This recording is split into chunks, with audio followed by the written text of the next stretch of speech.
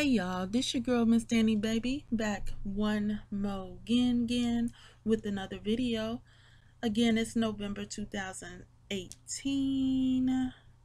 Chilling, chilling like a mega villain. We're gonna get into it about Miss Remy Ma. Um, a lot of you have probably already heard um, the hot topic that's going about around about Remy Ma, Remy Ma's commentary that she made on uh what's his name? Joe Budden's new show on revolt tv is called um uh state of the culture.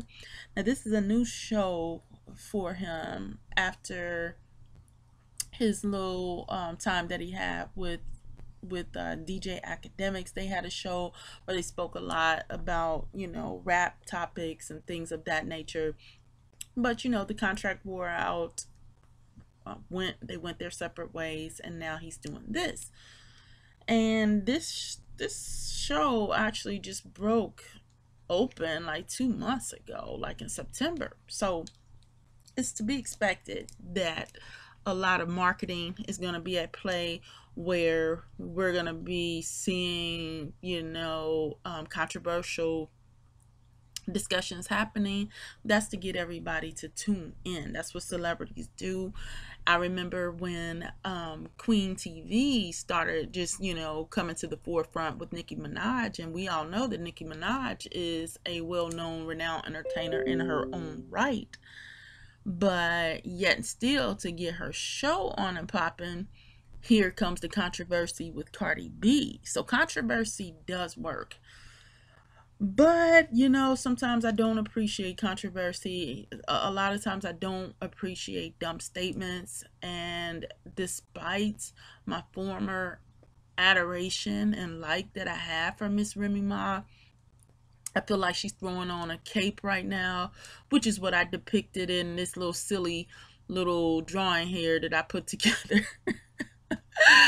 just to put her on blast. But she's I mean, this this this chick is actually throwing on a cape for R. Kelly, y'all, and that's why you know a lot of folks are discussing her. Um, the reason why he's back in the news again is because there's a documentary that I think it's supposed to come out like in January on Life TV or Lifetime, the Lifetime Network, where they're going to be interviewing some of his victims and for this video for all intents, and purposes i'll say alleged even though though 99 percent of the people that accuse him i believe it wholeheartedly. Um but and that's my right to do so as a human being. But for just you know just to, to play it safe i'll say allegedly occasionally. But to get into the topic this is a this is this right here remy ma and her disposition on the show is a disposition that I see a lot of black women take when it comes to black womanhood and girlhood being defended. Believe it or not, sometimes women can be some of the most objecting parties out there. Sometimes they object more so than the dudes. It's just like really, really crazy. You know, she already has a child of her own. She's pregnant with a new one with her little her little um boo that's on her little boo in diapers that's on the way. But you know, it, it's just really ironic because just a, a few months ago I never got around to it, but I was gonna do a video on Remy Ma, you know, her comeback story. You know, I thought it was very um, charming and very a positive story with her having some trouble in her past life, going to jail, um, getting involved in some stuff that she knows she shouldn't have been involved in, an altercation that could have been avoided and a violent situation that could have been avoided. But an altercation ensued. She shot somebody and she ended up going to jail.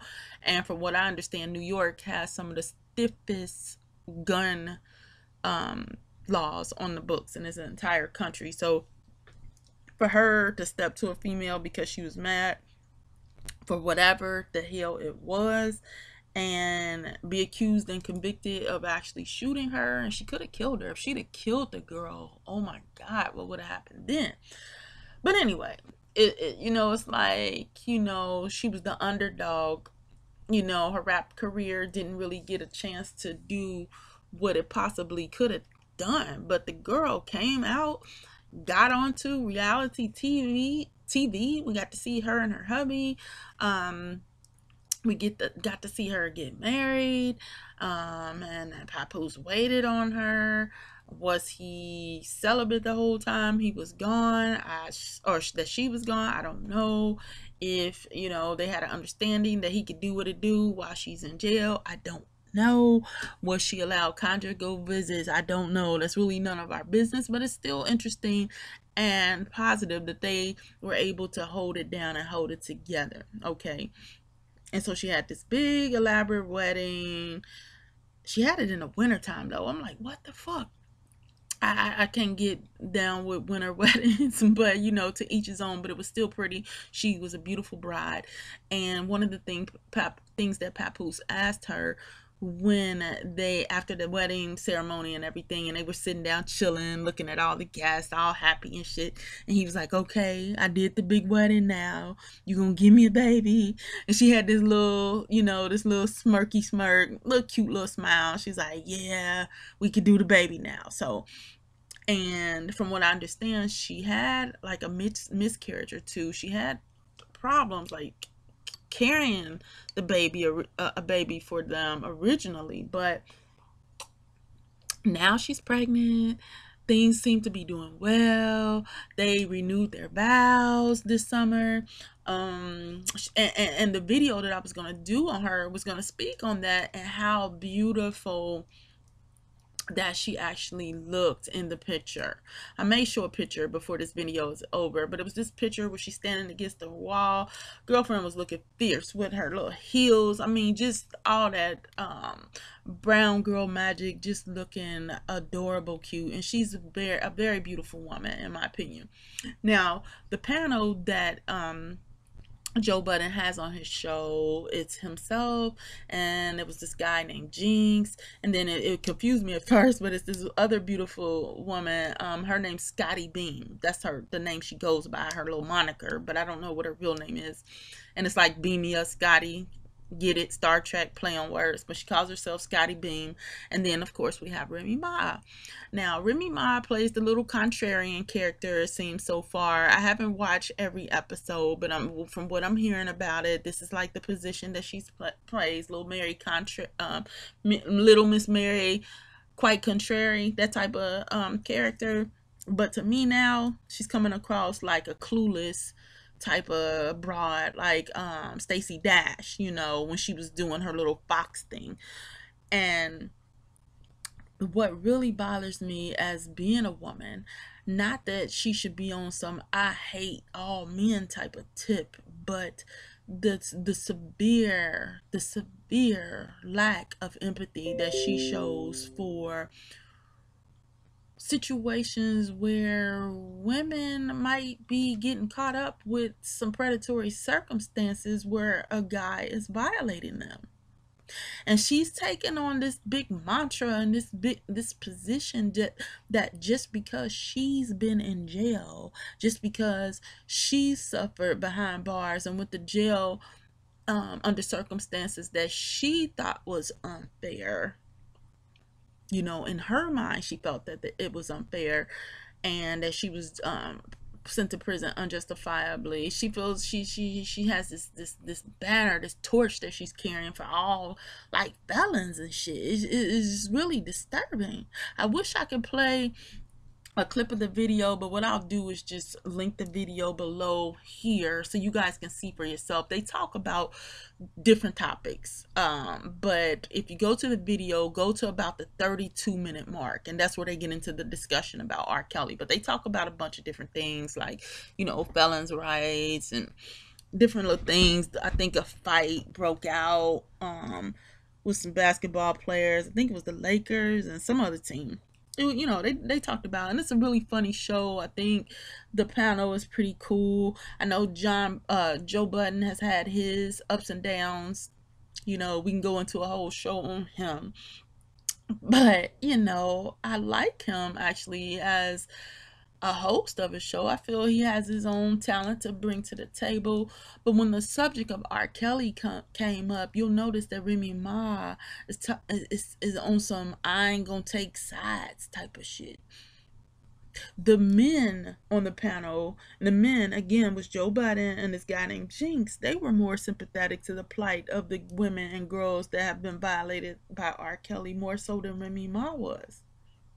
Now you can see on Jinx's face how hurt she was by some of the things that had came out about R. Kelly, you could just see her face just kind of like crumble. Like at some point, she almost sounded like she's about to cry.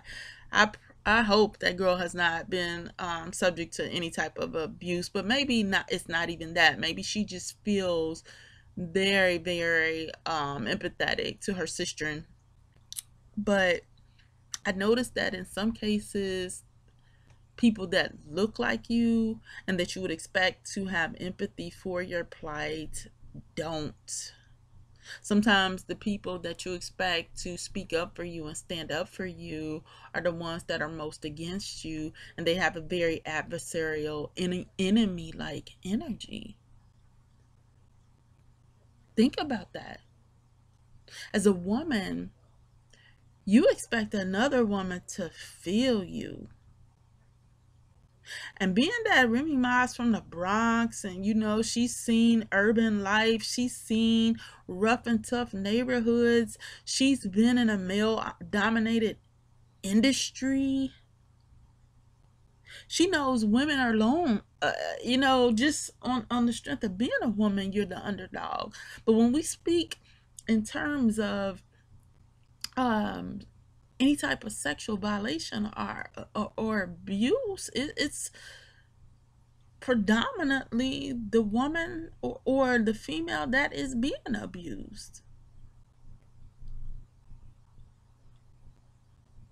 That's not to say that men and males don't get abused sexually. They act sexually especially little boy children. They they absolutely do but in most circumstances the victims of rape and sexual violation is the, the victims are female.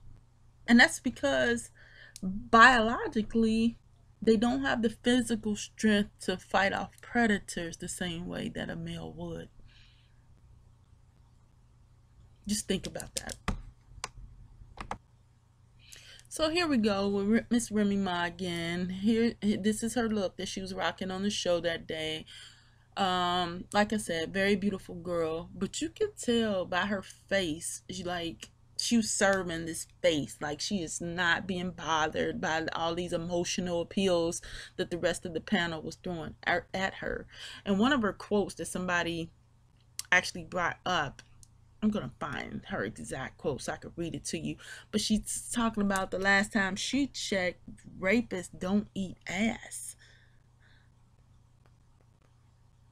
Isn't that sick, you guys? She said last time she checked, rapists don't eat ass. She mentioned seeing a couple of tapes of R. Kelly with the alleged the the the victim. I don't even like to say alleged, the victim that he was accused of, the little 14 year old back in the day um, from Chicago that he was raping and that he urinated and um, abused on camera. And she said, you know, that girl was taking it. She was taking it. And because she was taking the abuse in the mind of a woman like Remy Ma, that means that that that therefore should conclude that she wasn't being abused because you're taking it you're not being abused okay stupid comment moving on Okay, so I found her commentary in print. Like I said, it's on on the video, which I will link at the bottom of this this particular video that I'm doing. My phone always rings when I get on on the computer. God. But anyway, um but you can see her commentary here and it, it's a disconnect This girl is playing that ride or die role. That's why I had her in that dumbass cape, looking like the the the the goblin defender, the dumbass that she's uh, the position of the dumbass that she's playing right now. Um, but she's really in a video I just dropped, but it's on hold right now because of a couple of copyright issues, which I am um, disputing. And hopefully I'll have that video very soon. I think it's a pretty cool video. I'm mad because on certain parts the audio sped up a little bit, but I, I go into detail about how black chicks are on a pimp frequency and it's it's very hard to to for black chicks to cut the cord. Even if we're not kin to no dude even if we're not he's not our husband he's not our relative he's not our son we treat random dudes out there in the world as if we have to protect them as if they are in the position of husband son brother uncle daddy something of that nature and let's keep it 100% funky. Even if it was my father, even if it was my son, even if it was my brother, husband, if I found out nan one of they asses was some perverted child rapist or woman abuser, I couldn't rock with them. I'm sorry, I couldn't rock with them. But here, this woman, Miss Remy Ma, is out here looking totally, completely unbothered. Unbothered as fuck when this um the allegation or the the the, the topic of R. Kelly's abuse comes to the forefront. And she keeps making mention like, well, he is talented. Well, he is illiterate. I don't care. I don't give a fuck if R. Kelly is illiterate. What? We supposed to cry now because this nigga can't read? Bitch, are you stupid?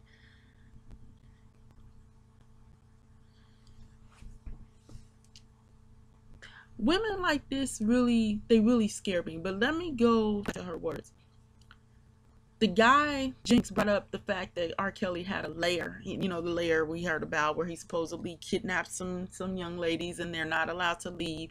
She the dumbass lair talking about. It wasn't that were complaining; it was the mothers. It's so weird that we live in a world where women and men do some sick shit and they be with it. Your daughter's 14, 16, 17 and she wants to fuck a guy who's 20 anything and 30 anything. You're fighting against it. I'm not saying that he's right, but from history, he's been labeled as being illiterate. He's talented, but he's not the brightest person. I remember that first case with the urination and all of that. It was sort of in his defense. I'm not taking either side. How do you combat somebody who likes younger women? What about the parents? Are they okay with that? She's deflecting like hell. Like, I'm telling you, we talk about black dudes being in a sunken place, but I'm telling you, black women are the poster child for the sunken place. We, our demographic is the poster child of the fucking sunken. We are brain damaged as a collective. We have no sense of self preservation at all. She'll rather defend a nigga that ain't no kin to her. She sees a bond with this dude on the basis that she was in prison and he could potentially go to prison. Her bond with this creep is so tight just based on those facts that she doesn't have any, any empathy for young girls who get taken advantage of by predators and she's a woman herself. And then she she makes fun of the me too movement movement you know on the download here here she go. Is it also the climate right now? For anyone who's accused of any type of abuse physical abuse sexual abuse this movement and rally to bring them all down. I'm a little bit more cautious with using terms like he got away with it because I know how this society works. Oh my fucking God.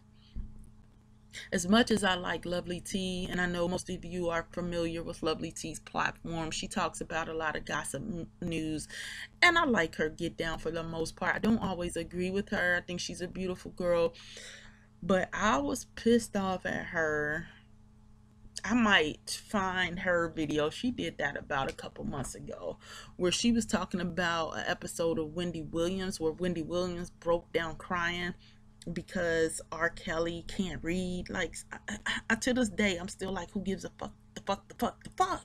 Who get, like, and we caring about what rapists can read and write about? Like, what, where are we as women? But I was pissed off at Lovely T because she came out on some I'm tired of this Me Too movement too. And the reason why she said that because she was agreeing with Wendy Williams, who we all already know is a full-blooded untrustworthy pimp frequency drowning ass bitch. She's drowning in the pimp frequency. You guys have to see my video when I um when I put out when I that. I think it's a pretty video if I should say so myself. Make sure that you tune in and that you're subscribed and that you hit the bell symbol with my videos um, so that you're aware because uh, you know YouTube's um, algorithm algorithms can't even say the word right now and whatnot they kind of you know suppress a lot of videos especially when they're talking on topics that concern um, topics like this here. They don't like you really talking about and putting child molestation on blast. Um, you know, even the larger structure, to me, it seems like it protects black predators. It really does. It really does protect black predators. We don't want that information out there. We want um, black women to stay in la la land and to be just marks, just food out here for this machine that is using our spirit and our energy against us. And again, I talk about that about um, in my video about the pimp frequency, but I digress. Um, but yeah, Lovely T was on some, yeah, I'm tired of the, I agree with Wendy Williams. I'm tired of this Me Too movement also because it's been hijacked by white chicks anyway because it was started by a black woman and blah, blah, blah. Okay, even if it was hijacked by white chicks, I, you know, and a, a part of me doesn't even care about that. You know why? Because white women have the strength and the support behind them to bring critical issues like this to the masses where at least somebody will give a damn. I hate to say it, but I didn't even know that the Me Too movement initially was started by a black woman. That poor woman, she gave a horrific tale about how she suffered at the hands of being raped. And, and, and if you read her story, oh my God, it's, it's just horrible. But she tagged the name Me Too because she was, when she was telling her story, she found out that it was so many other women just like her that grew up just like her that had been through similar circumstances and they were too scared to tell. So I don't give a damn if a white woman is talking about it and bringing it to the masses and to the forefront and they're grabbing the microphone and screaming to the top of their lungs about this serious issue. It should be brought to the forefront. So for Remy Ma to be sitting there, cutting her eyes, cutting her eyes like people are getting on her damn nerves, bringing a good, talented brother down, Remy Ma, she gonna have to hold this L. She she's really gonna hold this L. I could really go on and on and on about this this this topic because it really, you know, I've seen this this type of shit up close and personal. When I when it comes to child victimization, when it comes to toxic family dynamics, when it comes to kids being abused and even in my own experiences and the experiences of other people that I know, I noticed that motherfuckers ain't got time for it. It's like you're shitting on them and you're raining their down on their parade because you dare even br- br- broach the topic. Like, really?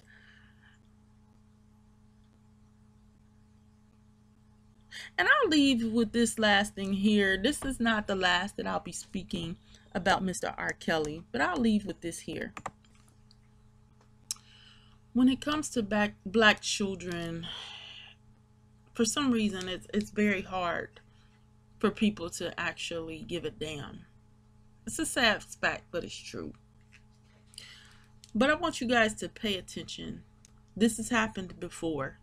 Children, black children have been victimized right up under our very noses in the past, have been made the sacrifice because the world at large is, and even those among us that look like us, just cut their eyes and look like they don't give a shit.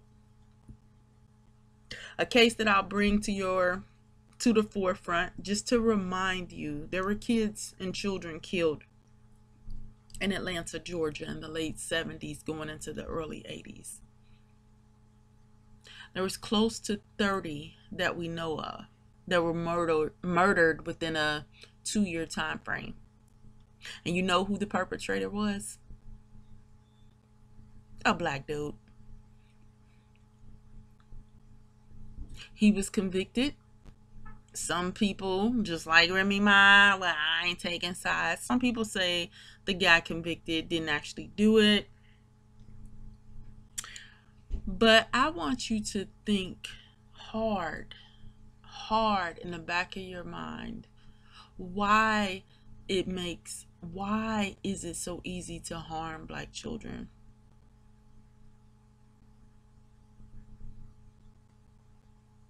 The answer is because there's such a wide, wide, open wide gate of access to them. And nobody is protecting, is protecting, is protecting. No one is protecting the area where the children are. And for a person, usually to get next to a child in order to actually either rape them or kill them, they have to be in a lot of in a lot of cases in a certain space where the child actually trusts them.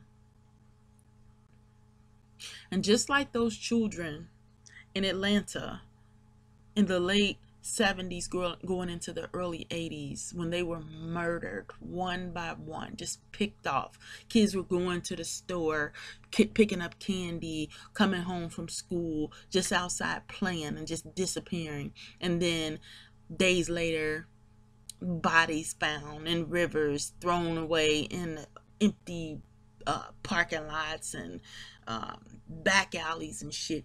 These children were just thrown away because they trusted somebody. And usually, the person that a child trusts is someone that looks like them. That's how you get access. That's how the vampire, predatory beast gets access. And that's exactly how R. Kelly has gotten access. He's not on record for killing any children, at least not physically ending their lives, but he's killed a whole lot of people. A whole bunch of people's children. He's killed them emotionally, spiritually, and mentally. And the way he's been able to do this is because he's had such easy access to the bodies of children. All these parents looking for a one way ticket to fame for their children. I won't necessarily call them evil for wanting their kids to be successful and to succeed, but to leave them in the hands of a guy, a lot of times they didn't even know well enough to leave their children with, but because he shared the same skin, because he looked like one of their kind, because he was known to make some good records. Oh, he's the dude I can leave my kid around and it's all good. It's disgusting and it's despicable.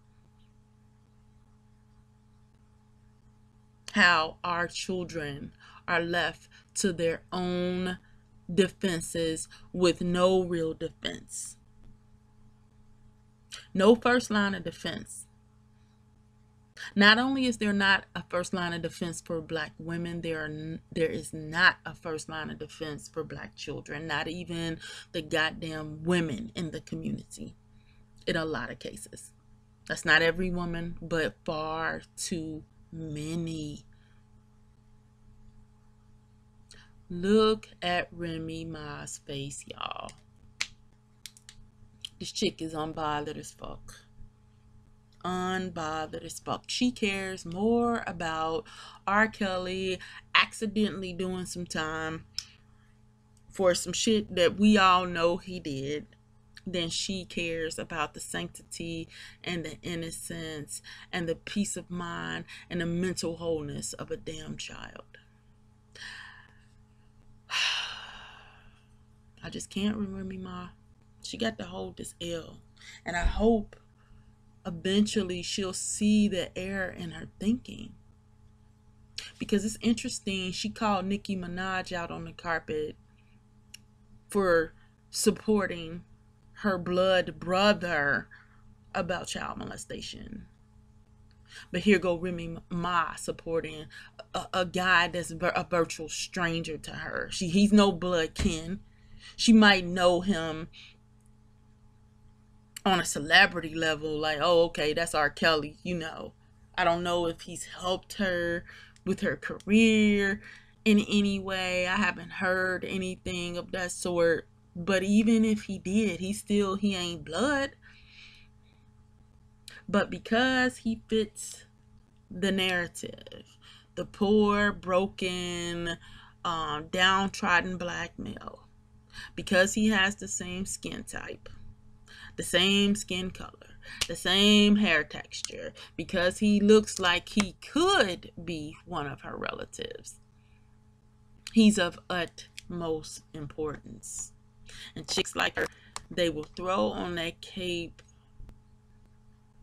They will throw on that cape and everything else be damned. And that's what she's done. So this saga will continue. I'm going to pay attention to this story and see any other commentary. Um, and another thing with her, I'll, I'll say this before going out. A lot of times, very beautiful women, um, and that's not all beautiful women, but a lot of girls that are considered really pretty because they feel like they don't have those issues like, you know, I'm pretty and a lot of guys treat me nice. I'm married to Papoose and I have a new baby on the way and we live in a big house and I have a baby. And yeah, I had my rough time, but you know, all people aren't bad because I have a, a, a, a, a good dude over here. You know, they, they're, they're in la la land because they think things are going well for them so they give the rest of the world their ass to kiss and that's dangerous dangerous thinking. Women like this are very dangerous to other women but not just other women they're dangerous to children because they do not care. I'm interested to know if she knows the sex of her child yet. And if it is a little girl i wonder how how um on the team she'll be if she were to find out the likes of a R. Kelly got a her, hold of her daughter. But the way I'm seeing black chicks get down these days, shit, I don't know. She probably still wouldn't care, so who's to say? but that's my commentary on that. It's something to think about, y'all. I'd love to hear your thoughts. You know, the the the topic of R. Kelly is is it's ongoing. It's never stopping, and um. Not only does Remy Ma have to hold the L, the black community has to hold the L for R. Kelly. Because he represents every nasty uncle, grandpa, daddy, brother, uh, neighbor that's gotten away with molesting a black child and everybody smiled and grinned in this motherfucker's face. I got family members who've done the same thing. So the, the black community has to hold this L. And for those of the, us that are standing strong and speaking truth to truth to power and calling out the bullshit, salute to y'all. Salute to y'all. Don't be afraid to, to speak on certain things just because you know the the the black community is on a certain frequency that's very low it's very low and in a lot of cases demonic but we can raise above that we can rise above it we can raise above it and we can protect our children even if they aren't ours just speaking for them on their behalf protects them a lot more than they ever have been in the past. Because let's face it, a lot of times people blame the child when bullshit comes to the forefront. So, but again, that's just something to think about. I know it's a little heavy topic, but um, I'm real disappointed in, in Remy Ma, and I think she needs to get her act together. but as of for now, she is officially canceled. but that's just my word, y'all. Talk to y'all later. Bye.